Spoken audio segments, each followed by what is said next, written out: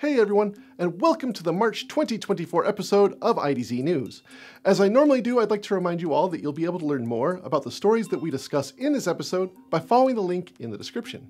For our first story today, let's look at the article Extending AI Accessibility Across Cloud to Edge and Unleashing the Power of Gen AI. Over the past few years, AI technology has exploded in usage everywhere from content creation to personal assistance, autonomous vehicles, healthcare, and more. With decades of research and investment and the cloudification and scale of infrastructure, AI workloads have accelerated from machine learning to more advanced deep learning and generative AI. The article goes into detail about the increasing intelligence of models and how the autonomy of machines will empower developers to create even more solutions. It also looks at the development and deployment of responsible AI. Read the article, which includes a look at Intel's continuing focus on the open source community, shares a Gen AI code generation demo, and looks at generative AI tools with Accenture. When you are done reading, I encourage you to check out Intel's AI tools and framework optimizations and learn about the unified, open, standards based oneAPI programming model that forms the foundation of Intel's AI software portfolio. Also, check out the Intel Developer Cloud to try out the latest AI hardware and optimized software to help develop and deploy your next innovative AI projects. For our next story, check out the three-part series that talks about the evolution of camera technology and its potential applications in healthcare, particularly in the context of panoramic and fisheye cameras.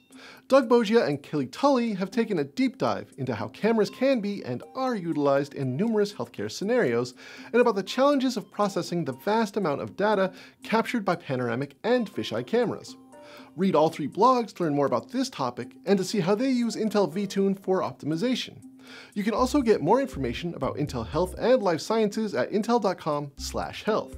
And finally, I'd like to share our colleague at Intel Labs, Scott Bair's article, Intel Presents 12 Quantum Research Papers at APS March Meeting 2024.